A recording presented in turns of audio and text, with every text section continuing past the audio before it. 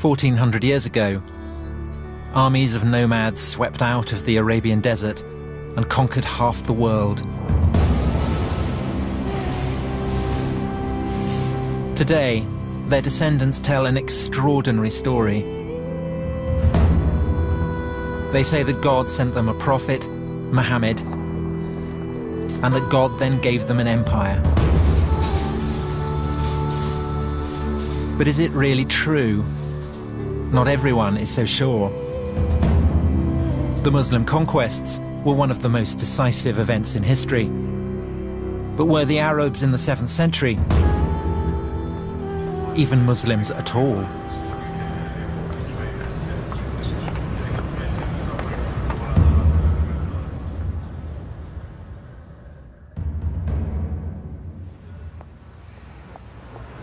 My name's Tom Holland. I'm a historian, I write about ancient empires, so Persian, Greek, Roman empires. And now I want to write about the most influential of all the ancient empires, the empire founded by the Arabs in the 7th century, the empire that gave us Islam. I thought that it would be a relatively simple matter. It's been said that Islam was born in the full light of history. But when I began on the project, I discovered that that wasn't actually the case at all. When it comes to Islam's beginnings, there is no full light of history, only a kind of darkness. And when you start looking, everything seems up for grabs. From the beginning, I felt like I was being sucked into a black hole.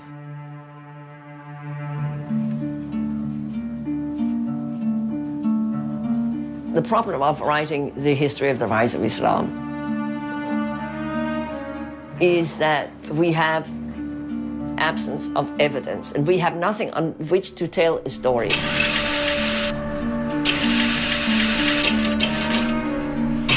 I had expected Muslim testimony from the 7th century, but there's nothing there.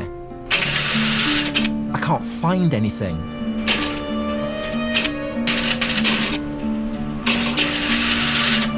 There's a problem here.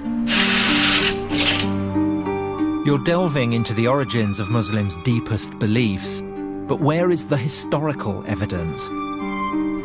sometimes the belief of the believer and the understanding of the scholar cannot be squared.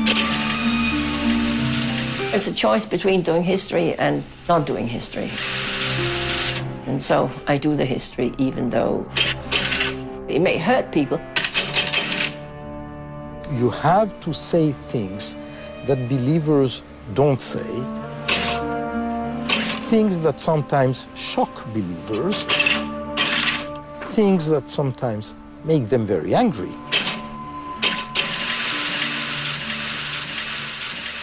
There's a sense of the detective story about it.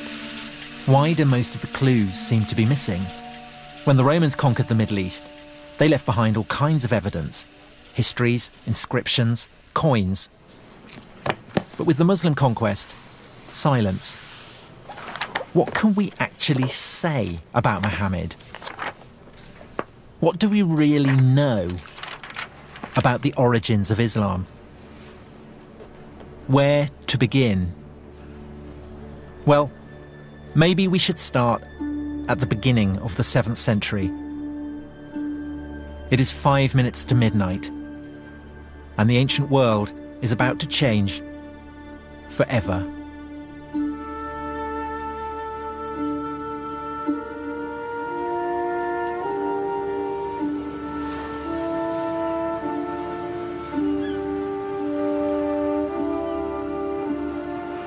This is Istanbul.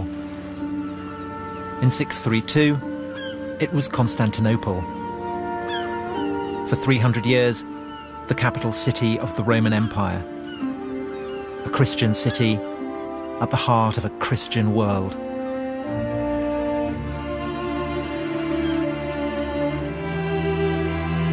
A universal religion for a universal empire.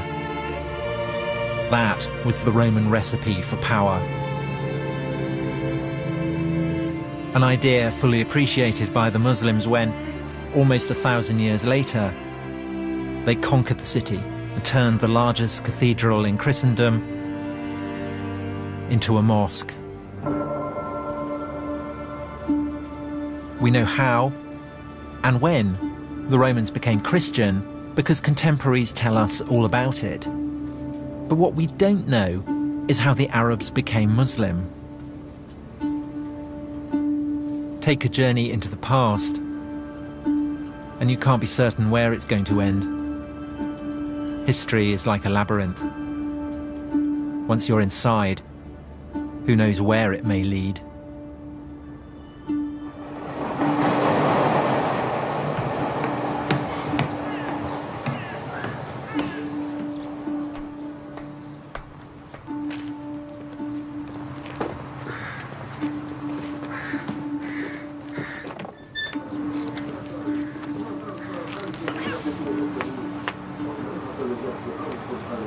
So here we are, the great palace of the Roman emperors of Christian Constantinople.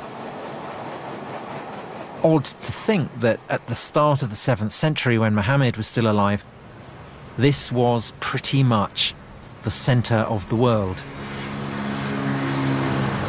There's one awful poetry about the fact that all you've got here is splintered firewood.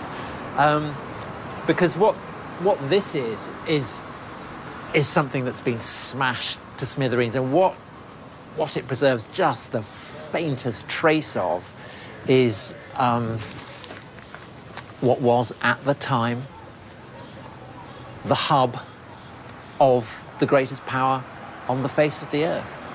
So this is the White House, it's where the emperor lives, it's the Pentagon, it's the heart of the defense establishment, it's the Supreme Court, it's where laws are drawn up and made and issued, all in this one place that dominates Constantinople, the city of Constantine, the first Christian empire, the greatest city in the world. And now it's all gone. And it's in some bloke's garden. You've got the road on one side, you've got the train on the other. And the only thing to be seen is a cat.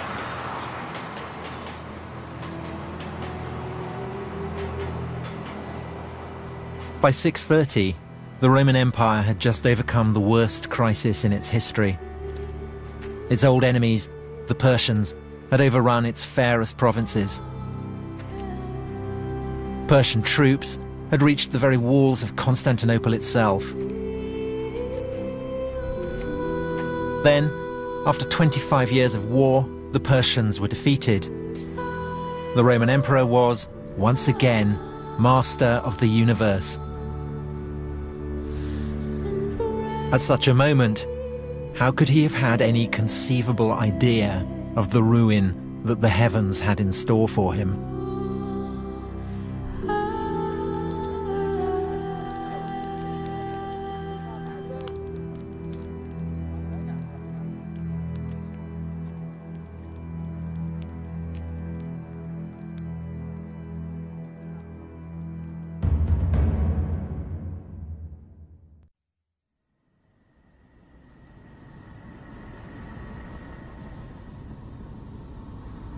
Professor, can someone like myself who is not a Muslim and who does not believe that God spoke to Muhammad ever hope to fathom the truth of the origins of Islam? No.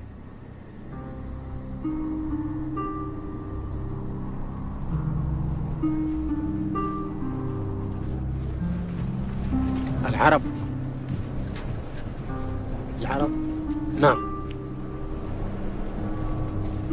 الرسول عليه الصلاة والسلام كان عربيا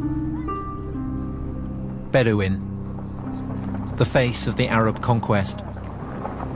The shock troops who, in the 7th century, swept out of Arabia and forged a colossal empire spanning half the world. And here in the desert, no one doubts that the conquerors were indeed Muslim.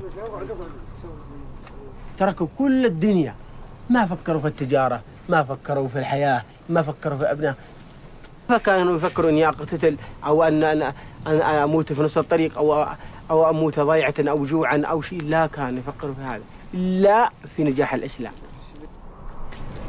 Everything was for Islam. That's what they say today. The victories, the conquest, the empire. But how do we know Islam even existed back then? ثبت الدين وثبت كل شيء والحمد لله احنا ماشيين على سن عشر على سنة الرسول المسلمين هذه كلها من ذرية اه يعني هذه احنا من ذرية الناس والله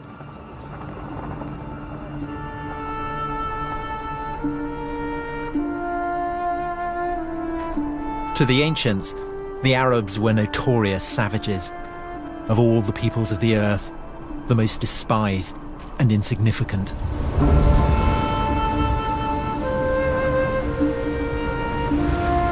Yet after 10 years, in the first half of the 7th century, they deprived the Roman Empire of her richest provinces, crushed the Persian Empire, and taken possession of most of the Middle East. A staggering achievement. For most Muslims, a miracle. Only God could have made it happen. Bedouin Arabs. They're the margin of history during the Roman Empire. That through such a people, the whole of North Africa and Spain should be transformed in just a few decades, and a whole new civilization created within a century from China to France.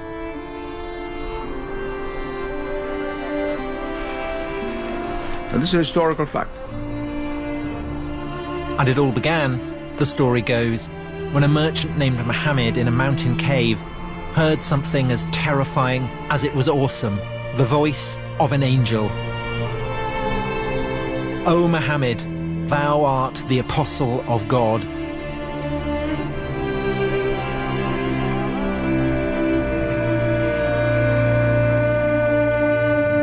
God had spoken to the Arabs.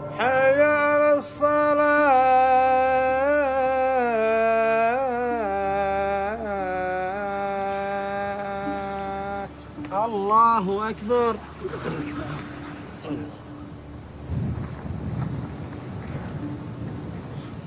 Allahu Akbar. The message was as clear as it was elemental. Allahu Akbar. There is only one God. Muhammad is the prophet of God. Islam is submission to God. And it was this message that gave them an empire. Or was it? Allahu Akbar. No one doubts the conquests really took place. But the question is was it because of Islam? if you were a Christian or a Jew or follow of another religion for whom a similar reality exists, be easier to make a jump. There's a very famous Arabic proverb which says, not being able to know something is no proof that it doesn't exist. But making that jump, taking a leap of faith, isn't as easy as it sounds.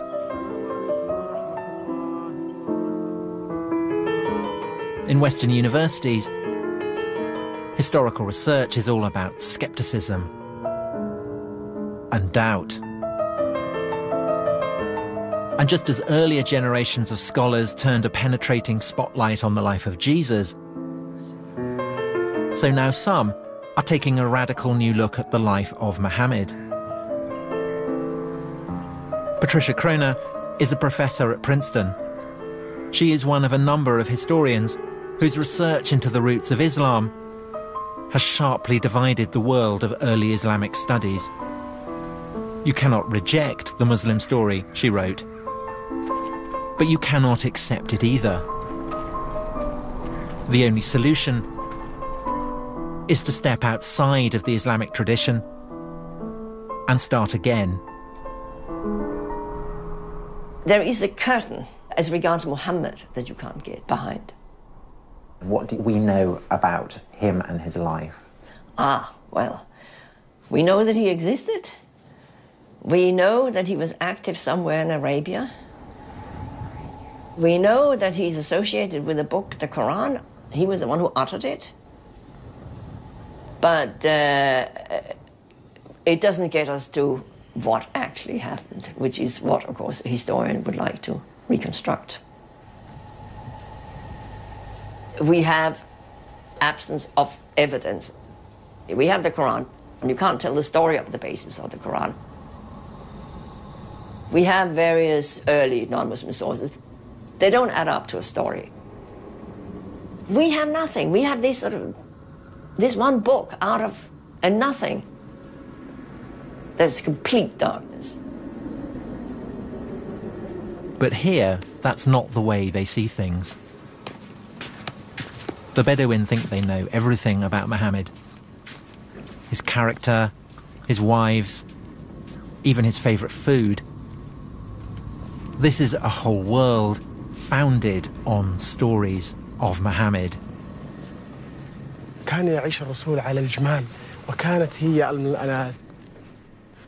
الوحيدة الذي يتنقل عليها البدو والأجمال والإسلام وإحنا على هذه نعيش ونتحمل الصبر الصبر إن الصبر كويس ونصبر على الماء على الظما والأكل والجوع ولكان هذا يعاني فيها الرسول وكانت الجيش لأجل الإسلام لنصبر هذا الصبر لنقطع هذه الصحاري لننشر كلمة الإسلام إن شاء الله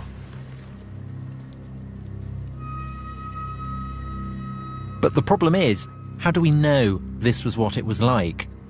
How can we separate what really happened from the hearsay and the myths? Do we know, did the Prophet Muhammad come here, Huna? Yes, يوان كان خرج من مكة إلى مناطق الشام وجاء على منطقة فجلس في شجرة في الصفاوي. Was there a tree? Was Muhammad even a travelling merchant? The evidence is almost non existent. The earliest biographies we have were written nearly 200 years after Muhammad's lifetime. in most religions, the tradition was handed down through oral history for millennia. This is put aside. It was called positive history. The oral tradition is completely negated. Well, oral tradition means that you remember what you want. Some of it must be history, and most of it is clearly not history. It's just that they have been reshaped, rethought. They have been taken out of their original context, serving new, uh, new, new, new functions. Uh, they've been cleaned up by all kind, or cleaned up, or messed up, if you like, by all kinds of, uh, you know, interests that people have in the memory. If supposing there is no written text of the time of the prophet mentioning his name, the same is true of Christ. The same is true of Moses. That doesn't mean anything because uh, there's always the oral tradition. Sometimes, if, if you have other sources from other points of view, you can suddenly see what it is that's been changed, and then if, when you can see that, you can also see why it has changed. But because uh, uh, Islam arose in a relatively remote corner of the world, we don't have these checks. We don't yet have the key that can unlock the tradition.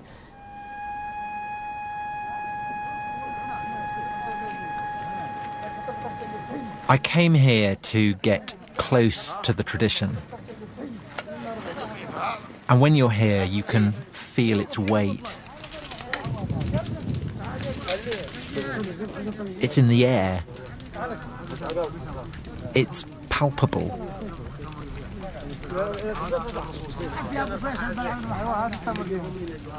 It can't just be brushed aside. Millions upon millions of people believe it. This is their history.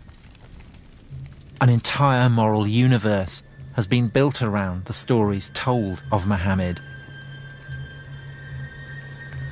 هذا أيام الجاهلية قبل الإسلام.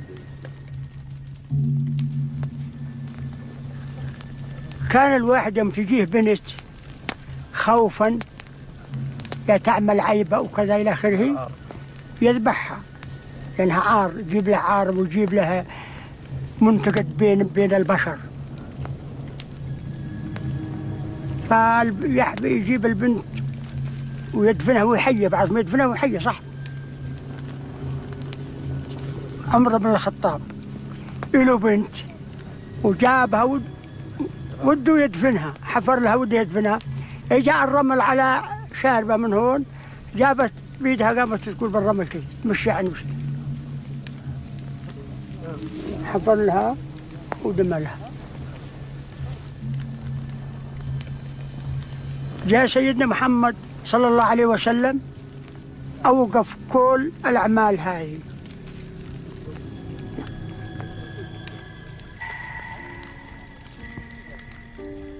listening to all these stories, part of me very moved. The other part of me was wondering, well, how do you know this? Where do these stories come from? Are they really true?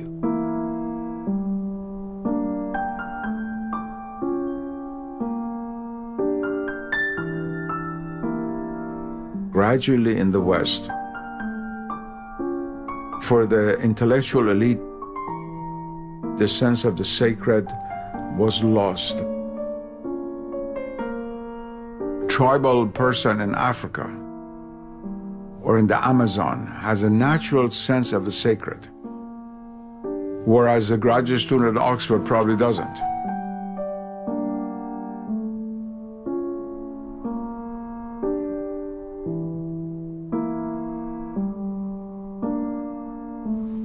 الله أكبر.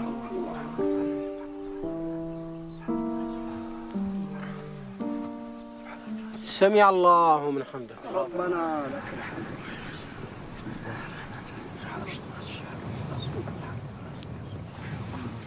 الله أكبر. الله أكبر. سبحان الله. الله أكبر. الله أكبر. الله.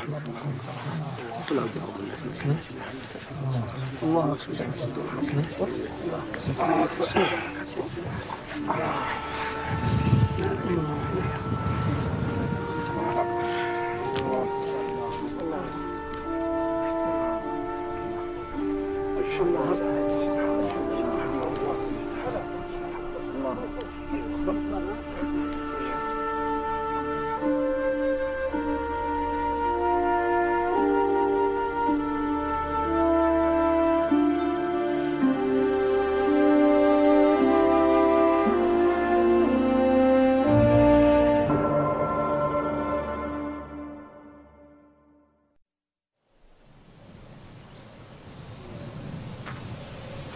In some places, you have to be careful where you tread.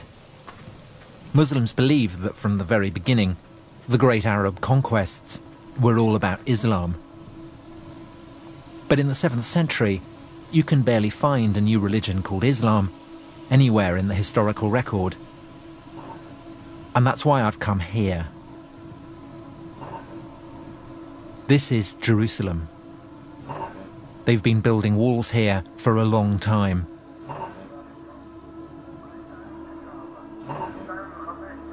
But they've never built a wall yet that could keep people safe forever.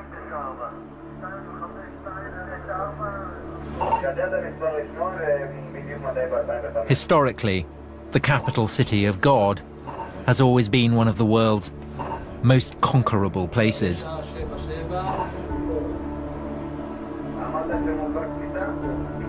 Here, if anywhere, in the one time world of the Roman Empire, the 6th and 7th centuries live on. The same intensities, the same anxieties.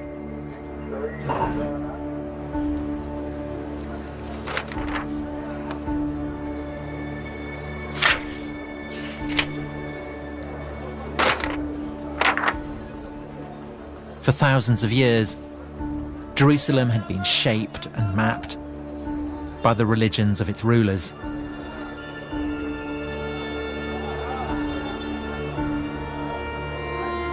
When the Jews ruled, they built a gigantic temple which dominated the city.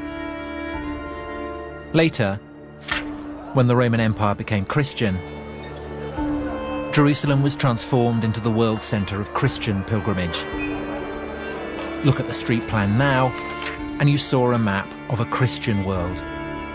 The Jews were gone, airbrushed out of the picture. The Romans constructed a new Holy of Holies, the Holy Sepulchre, a vast cathedral raised over the traditionally accepted site of Jesus' crucifixion.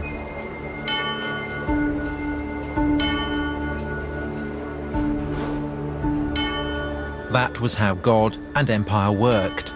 The Roman Empire believed in God, and God believed in the Roman Empire.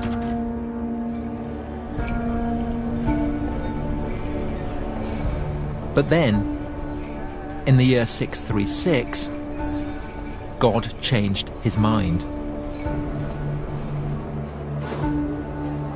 Arab marauders appear outside the walls. Sophronius, the city's bishop, writes that it is too dangerous to leave. The Arabs were closing in, and there was nothing people of Christian Jerusalem could do about it except to stay where they were, look out from their walls, and await the arrival of the Arabs.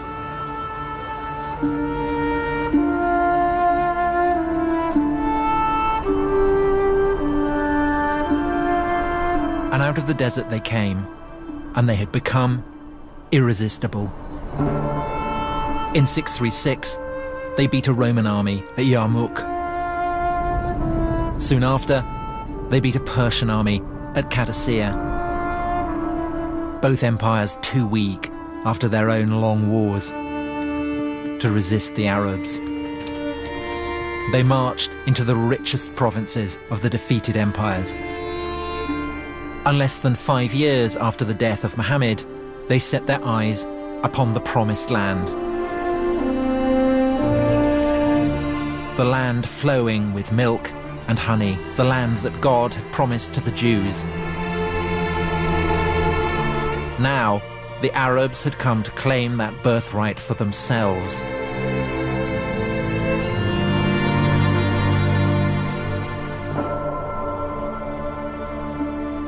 The children of Israel had made it a Jewish land. The Romans had made it a Christian, holy land. If the Arabs did arrive with a new religion, then we should be able to find its imprint here.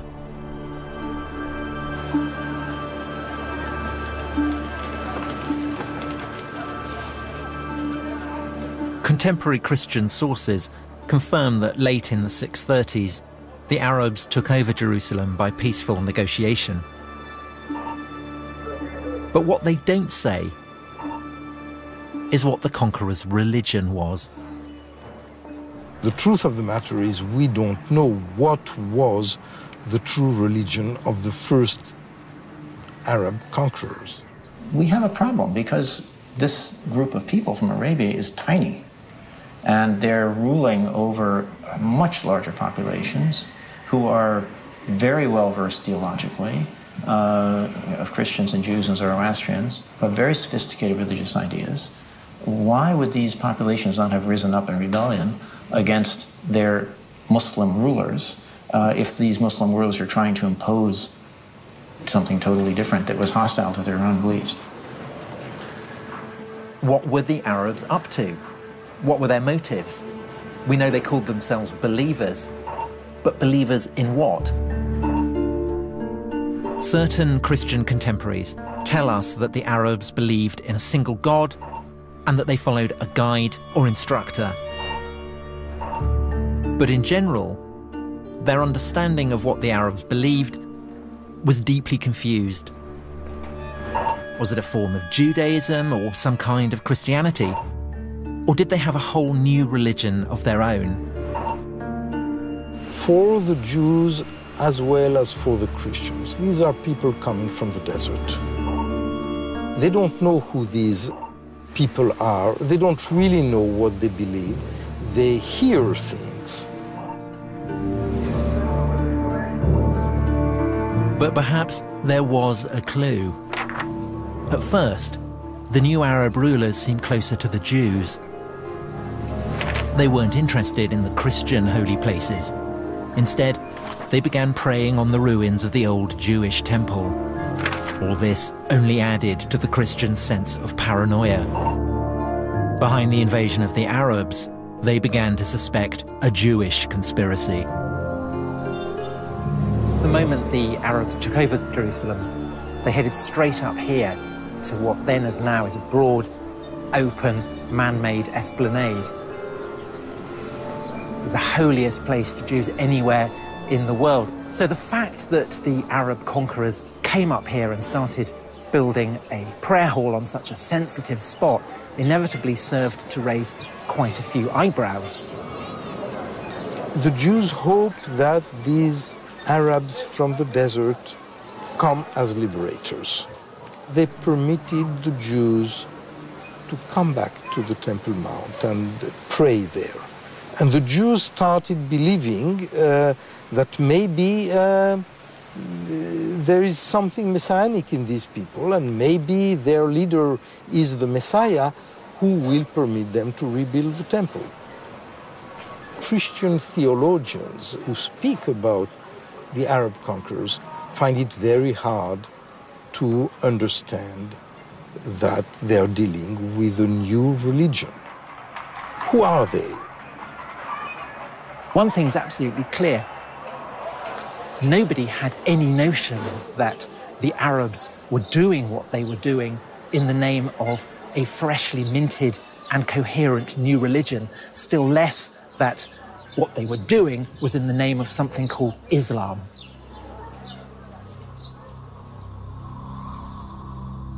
So, did Islam even exist in those early years after Muhammad?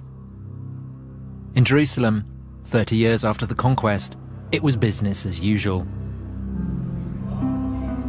There were Christian pilgrims in the streets. The churches were full. Ancient religions were practicing their ancient rites. But where was the prophet in all this? Thirty years after the death of Muhammad, here in Jerusalem, an Arab warlord called Muawiyah was hailed as leader of the new Arab Empire. But if Muawiyah was a Muslim, then he showed precious little sign of it. The astonishing thing is that nowhere, not on his inscriptions, not on his coins, not on any of his documents, is there so much as a single mention of Muhammad.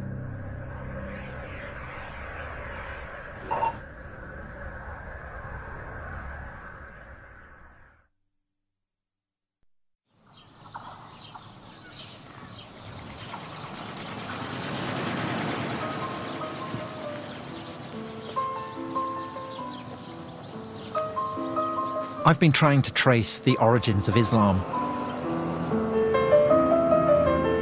But it's a bigger mystery than I'd ever imagined. This is the Holy Book of Islam, and it's the earliest source for Islam that we have. Find out where the Quran was composed, and you find out where Muhammad was operating, and then you get a picture of where Islam might have begun in the Quran, it tells Muhammad to follow the path trod by Abraham. Maybe that's the place to start looking.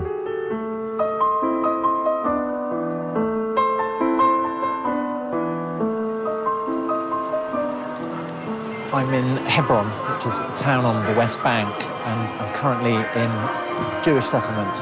Um, but Hebron is also very much Palestinian city, and so the atmosphere is probably as tense as it is anywhere between Israelis and Palestinians.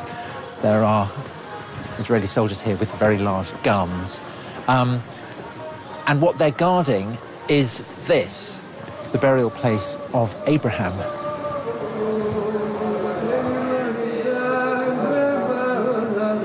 Abraham, through the line of his son Isaac, was the father of the Jews. When everyone else was still pagan, Abraham worshipped the one true God.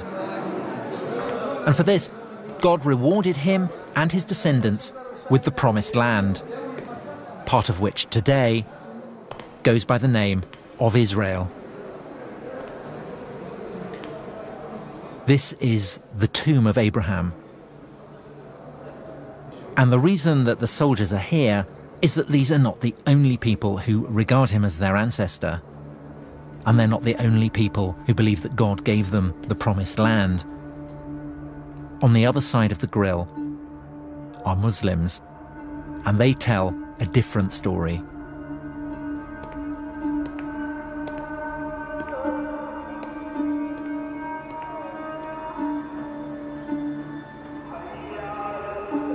This is the Muslim side, and the reason they revere Abraham is because, as well as Isaac, he had another son, Ishmael, the father of the Arabs. This is the tomb of Abraham that we saw earlier from the Jewish side, but we're now looking at it from the Muslim side. The significance of Abraham and this association that was made between Arabs and Ishmaelites, the children of Ishmael, is actually much older than Islam itself. It remains central to Islam to this day. According to Muslims, Abraham is their prophet, and the religion he founded was not the religion of the Jews, but Islam.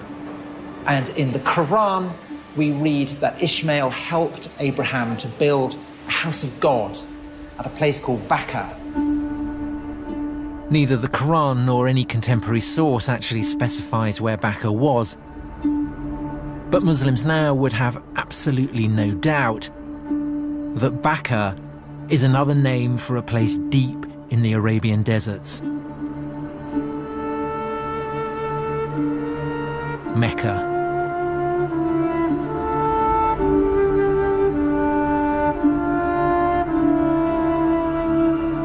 The holiest city in Islam, the birthplace of Muhammad. This is the largest mosque in the world.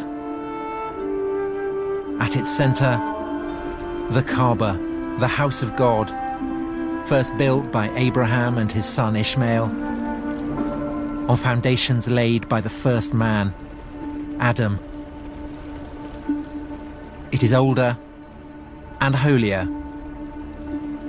than anywhere else in the world. It was in the hills above the city that Muhammad received the first of his revelations from God. These revelations would form the holy book of Islam, the Quran, the very word of God. Mecca is where Muslims believe everything began the crossroads of faith and history. Surely here then, you would think, we could find solid evidence for Islam's beginnings.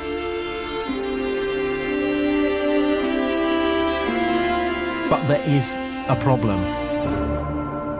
Aside from a single ambiguous mention in the Quran itself, there is no mention of Mecca.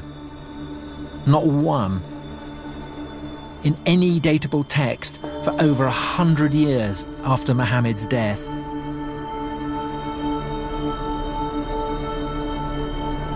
How can we know that, that Muhammad does come from Mecca? We can't.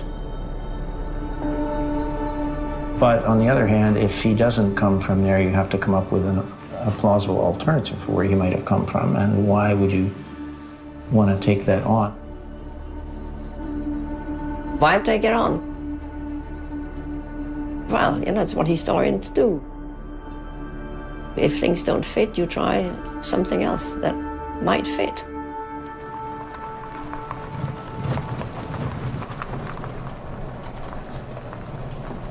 Here we go. So this is it. Yeah, here we are. In the Quran, the faithful are instructed to pray in the direction of a holy sanctuary. But what it doesn't ever say is that this sanctuary stood at Mecca. And to some archaeologists, a few early mosques suggest something different. We're talking about one of the earliest examples we have of a mosque And you date it 100 years after Muhammad? somewhere within 100 years or so. Because here, as we go into it, you can see This is it. this is it, yep. This is the mosque. This is the mosque. And what It's- you can It's what, what you can see here, we have an apse which is not facing Mecca. It's not facing the south. It's actually facing towards the east, towards the sun rising. This is an example of the time before the direction had actually been preferred towards Mecca. So the implication of that is that that at this early stage of Islam, the focus of prayer has not yet been absolutely fixed.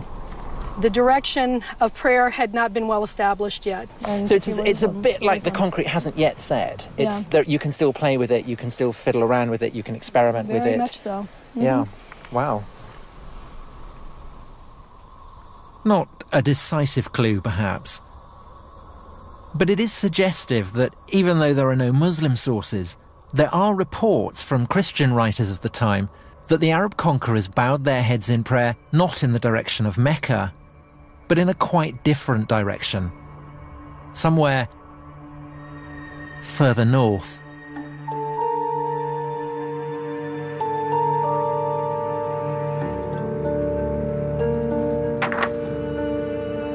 In the Quran, it never actually states that Muhammad lived in Mecca, nor that Mecca was where the first revelations took place. Does the material in the Quran point to Mecca being the setting for God's revelations to Muhammad? No, it doesn't. I mean, there is mention of a sanctuary. There is a sanctuary, for sure. But where is that sanctuary? That's, of course, you, we can't tell. It's devilishly difficult to sort of extract what the context might have been from the text itself.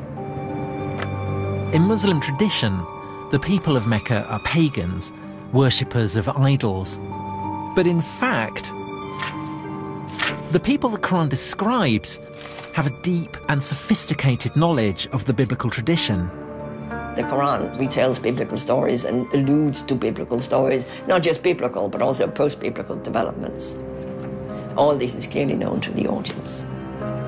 Suggests that what we have is a kind of response on the part of, let us say, Muhammad, to the debates that were going on in Christian and Jewish communities, where they were debating theological issues and questions uh, that come out of the Hebrew Bible and come out of the New Testament.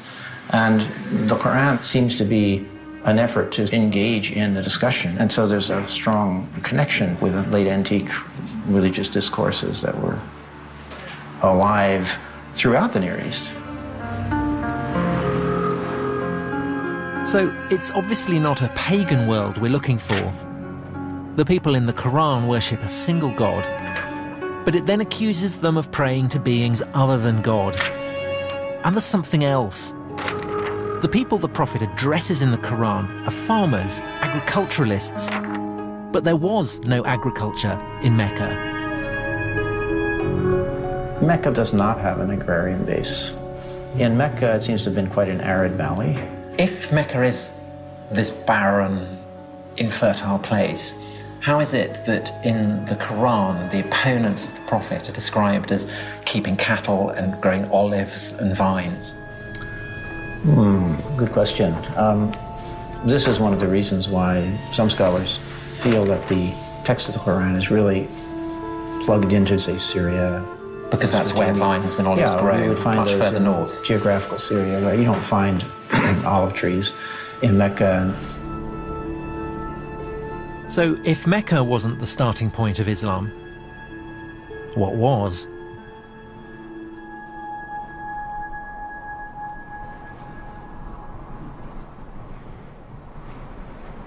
If you're following the clues in the Quran itself, then you're looking for a landscape inhabited by olive growing Arabs who have a deep knowledge of the biblical tradition, but whose worship of a single god might seem to some a little shop soiled. This is the city of Avdat in the Negev desert. Back in the early 7th century, it was an Arab city on the very fringes of the Roman Empire. Nominally Christian, but with hints of a recently pagan past.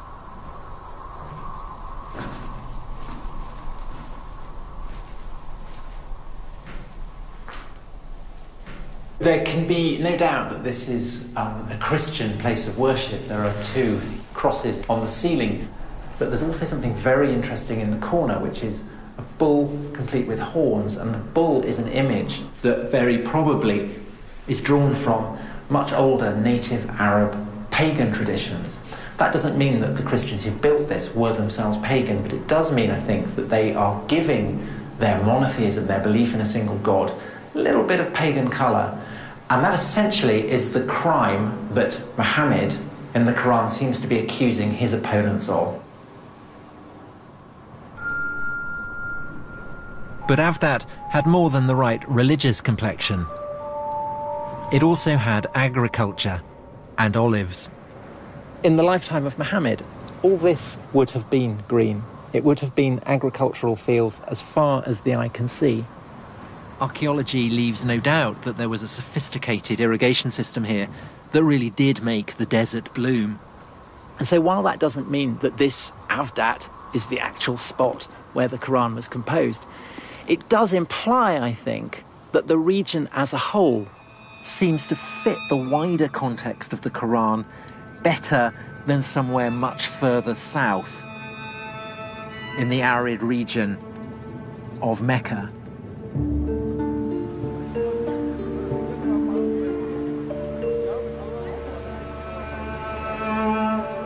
When you read through and through the Quran, what's really striking as compared, say, to the Bible, which is full of allusions to recognizable landscapes that we know, in the Quran, it's an effort to find an allusion to any landscape or natural setting that we could actually pin down. In fact, in the whole of the Quran, there's really only the one exception. Not far from Avdat, a strange hint about where the Quran might actually have come from. We are on the southernmost shores of the Dead Sea, between what is now Israel and Jordan.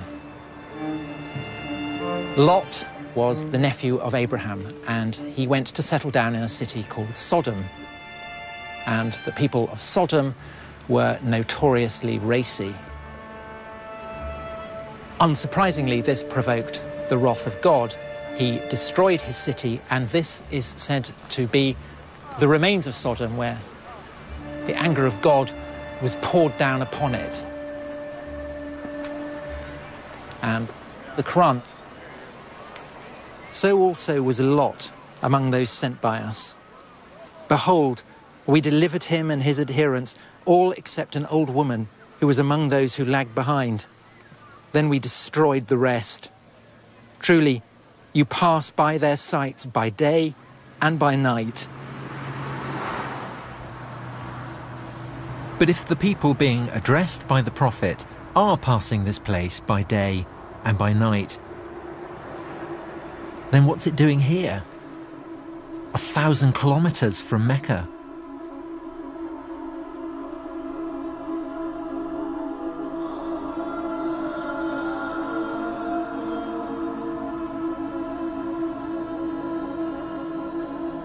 In terms of someone who is looking for clues,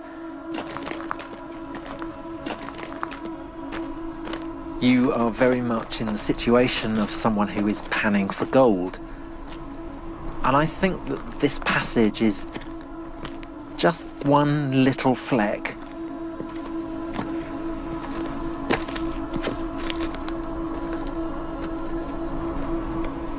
I mean, there is one possibility, of course, which is that this one fragment originated in this neighborhood. Perhaps the rest came from elsewhere. But that then begs the question of where all the various component parts of the Quran are coming from. Are they necessarily to be attributed to one person living at one time? Again, when you start asking that question, it's very hard to know how far to push it. It's from the West that this kind of history came up. That is, reason is the ultimate decider and judge of the truth. But what I'm saying is that those are not going to really give you the reason that is logically satisfying.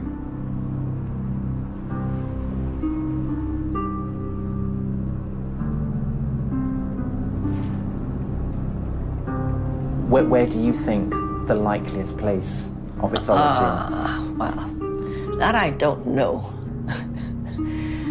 that I don't know. Uh, I don't think I should speculate on that. Okay. All right. Okay. My greatest fear is that I'm completely wrong. I do sometimes wake up in the middle of the night and think I've got it completely wrong. Once the world is reduced to a mechanical uh, world, then all other levels of reality lose their status as being real. And they're relegated to the realm of so called superstition. And what is not seen is considered not to exist.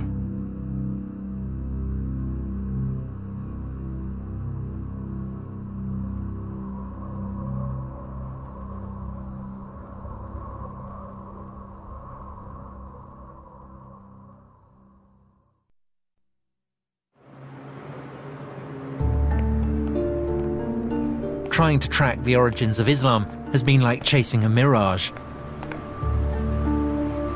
The Arabs conquer half the world,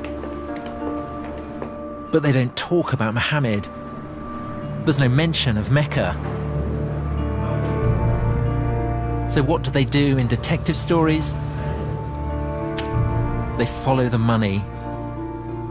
Uh, any of these? What, what, what's, what's, what's the first coin that actually mentions the name of here of, of the Prophet Muhammad on the coins. Do any of these coins mention Muhammad by name? With, with uh, Muawiyah. Yeah, but is the, is the name of is the is the name of the no, Prophet Muhammad no, mentioned? No, no, no. Every coin tells a story. Every inscription conveys an idea of power. Hey, hey, hey. But sometimes what's not on the coin can be just as significant as what is. It would it would be nice to see the, the earliest coin that mentions Muhammad. The earliest uh, coin that has Muhammad has the name of Muhammad. They don't have it, but because it's it's just it's odd that we're 60 years on from the death of Muhammad and no mention of Muhammad. For nearly 60 years, the rulers of the Arab Empire didn't put Muhammad on their coins, and then they did. Maybe 60 years was what they needed to work out what the story really was. Maybe the issue isn't why Muhammad was not on the coinage at the beginning, but how he got there in the end. What if I've been asking the wrong question?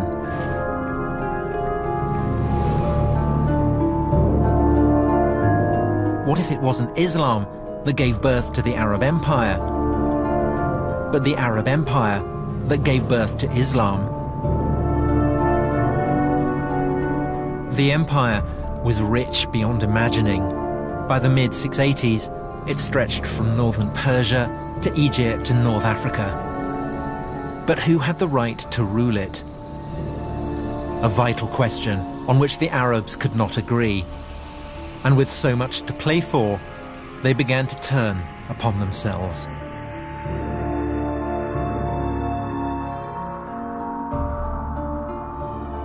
It's 680. 50 years on from the death of Muhammad.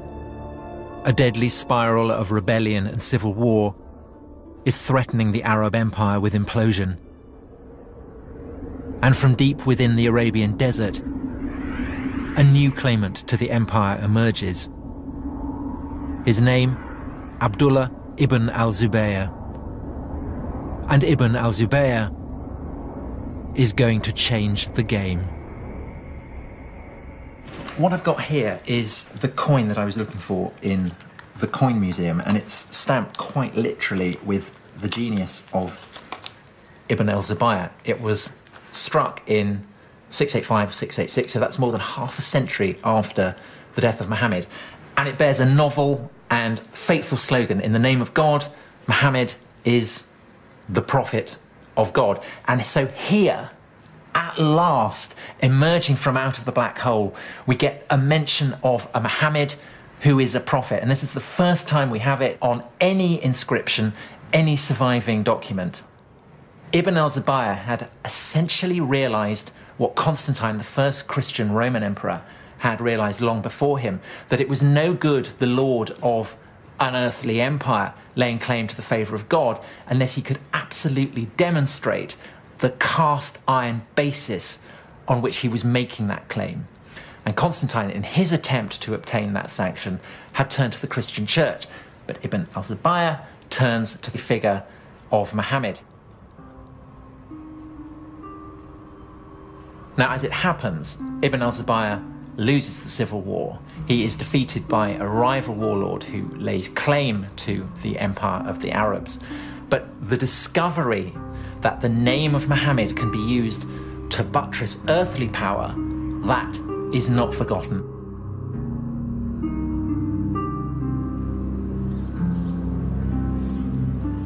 The Civil War had been a very close run thing. And the victorious warlord Abd al Malik had no intention of ever again allowing Muhammad's legacy to fall into the hands of a dangerous rival. The Romans had known all about religion and power. When they had become Christian, they had redrawn the map of Jerusalem. Now, Abdul Malik set about fashioning a holy city of his own.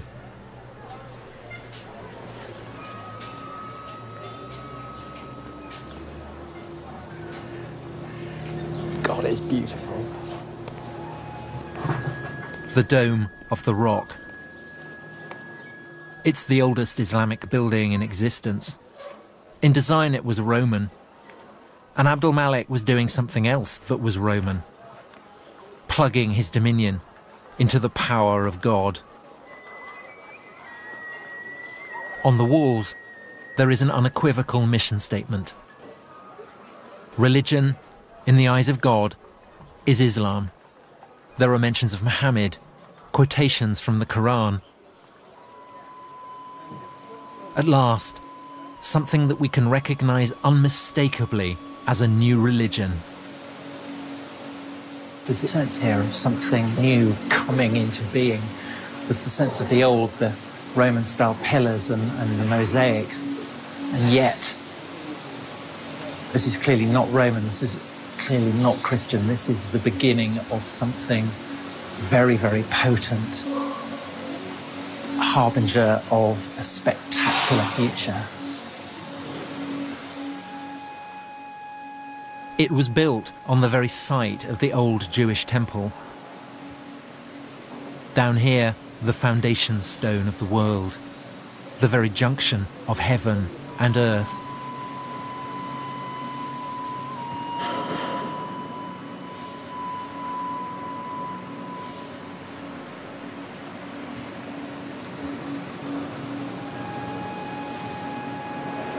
This is quite possibly one of the most awesome places on the entire planet.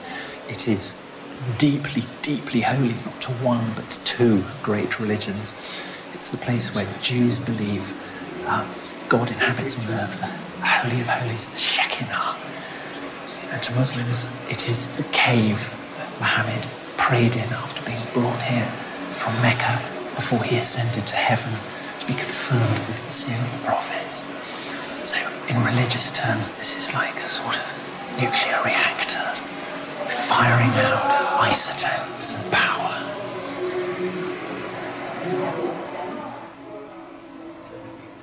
Is certainly a very grand statement that we Muslims have superseded you Jews. And we have superseded you Christians by being filled with inscriptions uh, directed against Christian Trinitarian beliefs. So it's, uh, it, it's Muslims saying, uh, we are here, we've come to stay, and we are the winners. Abdul Malik now rules his empire as the deputy of God, just as the Christian Roman emperors had done. And like the Roman emperors, he has built a house of God in Jerusalem. But Abdul Malik, Lord of Jerusalem though he is, is also an Arab. Perhaps for Arabs, Jerusalem, for all its ancient and unrivaled potency, owed too much to the Jews and Christians to stand alone as the holy city of the new Arab empire.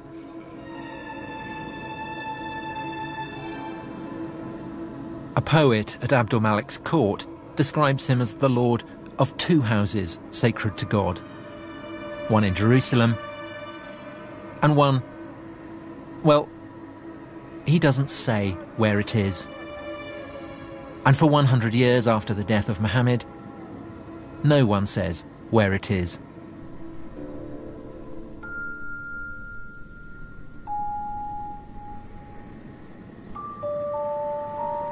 All sources go on calling it a place in the desert. It's a sanctuary in the desert without giving it a name. And at some point, this sanctuary must have been fixed at Mecca, in the middle of the desert. But why? The truth of the matter is, we don't know what was the true religion of the first Arab conquerors. It's an Arab story. Arabs come from the desert. God is speaking to the Arabs. They don't want Jews or Christians having any influence on Muhammad. لهم الرسول عليه الصلاة والسلام كان عربيا المسلمين هذه كلها من ذريته اه يعني هذه احنا من ذرية النسل The Quran is in Arabic. The Quran is full of characters from the Bible. But if the book came out of the desert, how did these characters get there? We have nothing. We have this one book out of a nothing. We don't have the key that can unlock the tradition. But maybe that's the point. We're not supposed to unlock the tradition. God's message comes to a prophet, the prophet lives in a desert. There is no room for anyone else. It's remote. It's remote, it's uncontaminated, it's pure. It's a place where we can rule out that Muhammad got his ideas from others than God.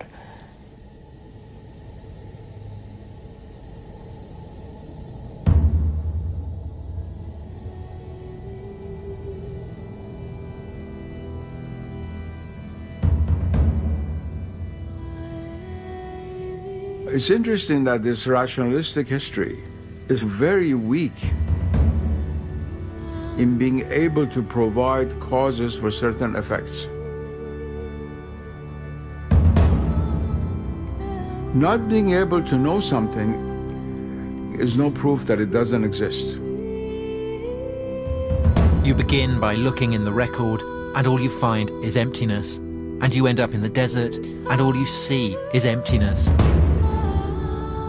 But perhaps the emptiness is the answer. Maybe Mecca gave Islam what it most needed a blank sheet where Muslims could put their prophet beyond the reach of history.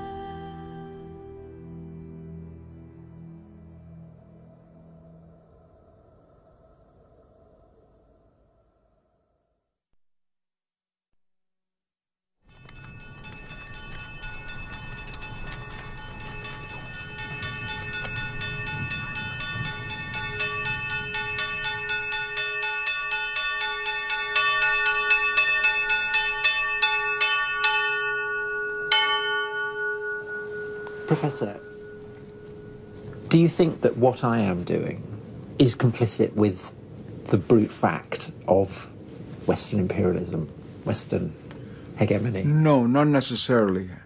As long as you remain aware of what you're doing. If you come as a Western scholar or historian, and in all honesty, present what your worldview is, and let's say when I look at, at the Islamic world from this paradigm, this is what I see, and bring out why this is different from what, how Muslims see themselves, that I think is a very honest effort and is a good effort. But if you try to act as a doctor to a child, take this medicine is good for you, you don't know what you're eating the wrong thing, uh, this is how it should be, that's where the problem begins. And uh, the Muslim world is not going to accept that. The, the, days when the British would bring scholars from England to teach Indians how to uh, be Hindus and Muslims is finished. It's finished. It's true, before I began, I did have preconceptions. I was brought up a Christian, but I was also brought up in an environment that questions everything. Studying ancient history is a process of paint stripping, tearing away stories that you want to believe the literal truth of. This is supposed to be Mount Sinai, where Moses saw the burning bush where God gave him the Ten Commandments. But there's no historical evidence for any of this. Christian monastery, Roman fortifications, the old partnership, God and empire. Between them, they turned this place into Sinai. In my heart, I want to believe it, but my head won't let me. We believed that there was a living tradition kept by the people here, that this is where God had revealed himself in an extraordinary way. How much would it matter if it turned out that this wasn't the place where Moses had received the Ten Commandments? But the spiritual encounter with God is more important. The reality is there, even if your eyes aren't open to see things in actuality. God is always present, but you're not aware of his presence. Ultimately, the city of God matters more than the city of man. Yes.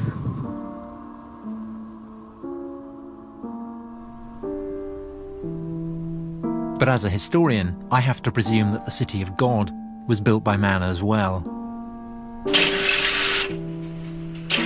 I wanted to map the human past in human terms to make a map that fits the facts.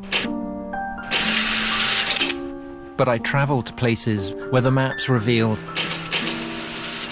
a heavenly plan, sacred lands, sacred places.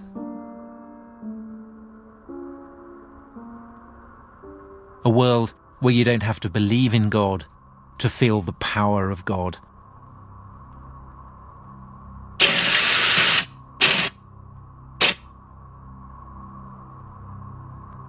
This is the Promised Land. Some call it Israel, some call it Palestine. A land where Muslims, Christians, and Jews still fight over the story of a promise made by God to Abraham thousands of years ago. Was there really a promise? It's not for the historian to say. But the world believers make in the name of God, that is what history is about. Even today, more people die for visions of heaven than they ever do for historical facts. Stories that never happened can be infinitely more powerful than stories that did.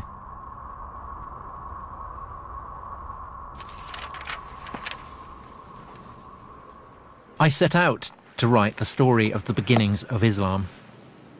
If you're a Muslim, then there's no problem. Everything is explained by God. But I'm not a Muslim. And I don't think that civilizations appear like lightning from a clear blue sky. What I think now is that Islam emerged from a whole range of circumstances. From the religions and the empires and the convulsions of the world that witnessed its birth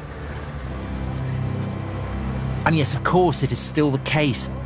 The black hole that surrounds Islam's beginnings doesn't give up its secrets easily. But maybe we are getting somewhere.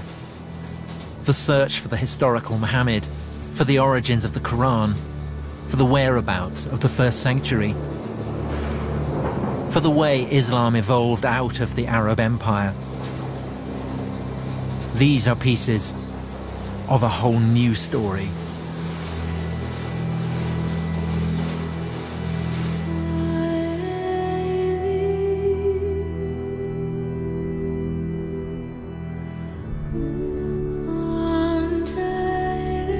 Tomorrow night, the wait is over. The Paralympic Games opening ceremony kicks off at 8. It's shrouded in secrecy, but I can tell you in all probability it won't feature Timothy Spall in a hat like the other one. Next tonight, two houses and five garages were full of stuff. Six months down the line, how's the big clean out coming along? Catch up with the obsessive compulsive hoarder.